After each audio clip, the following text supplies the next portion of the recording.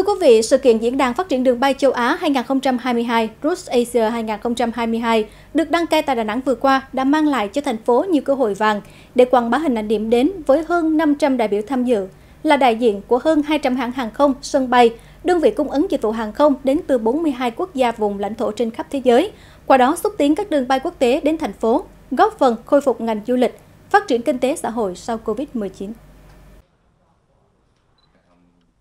Tại sự kiện có hơn 1.500 cuộc gặp gỡ giữa các đối tác đã được hẹn trước trên hệ thống của Rus Asia.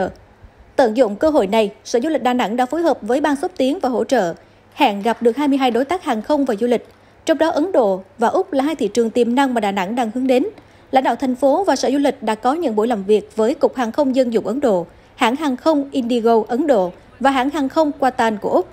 để mở các đường bay trực tiếp đến thành phố.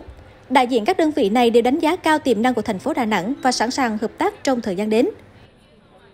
Chúng tôi à, cung cấp các cái thông tin à, về điểm đến của thành phố Đà Nẵng, về hệ thống, hệ sinh thái, các cái sản phẩm du lịch của thành phố à, cũng như các cái vùng lân cận. Bên cạnh đó thì phía nhà ga AHT cũng như là ACV thì các đối tác cũng đã cung cấp các cái chính sách về ưu đãi mở các cái chuyến bay đầu tiên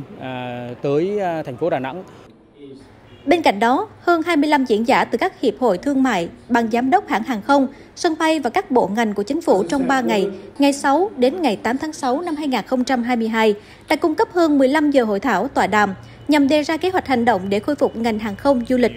Với thành phố Đà Nẵng, để khôi phục ngành du lịch, nhiều hãng hàng không cho biết trong bối cảnh hiện tại, thì điều tiên quyết chính là phát động lại thị trường khách du lịch quốc tế đến thành phố.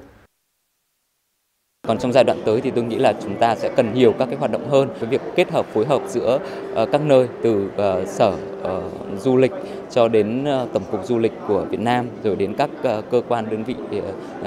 lữ hành và các hãng hàng không thì cái việc phối hợp là rất quan trọng để mà có thể phát động được khách du lịch đặc biệt là khách du lịch quốc tế đi đến Đà Nẵng. Là đơn vị chủ trì tổ chức sự kiện diễn đàn phát triển đường bay châu Á 2022, ông Steven Small, giám đốc thương hiệu Informarus Ấn tượng mạnh về công tác chuẩn bị hết sức bài bản chuyên nghiệp của Đà Nẵng tạo thiện cảm với các đại biểu quốc tế. Bên cạnh đó, ông Steven cho biết, thông qua việc đăng cai sự kiện Roots Asia 2022, thành phố Đà Nẵng đang kích hoạt lại ngành du lịch và định vị vị thế của thành phố như một trung tâm khởi nghiệp đổi mới, kinh tế, tài chính và văn hóa. Đà Nẵng có ngành du lịch đang rất phát triển, thu hút khoảng 8,7 triệu lượt khách vào năm 2019, tăng hơn 13% so với năm 2018. Cùng với sự mở rộng nhanh chóng của thị trường, chi phí thấp trong những năm gần đây, sức chứa hành khách qua đường hàng không ở Đà Nẵng đã tăng 2 triệu ghế vào năm 2011 lên hơn 9,2 triệu ghế vào năm 2019.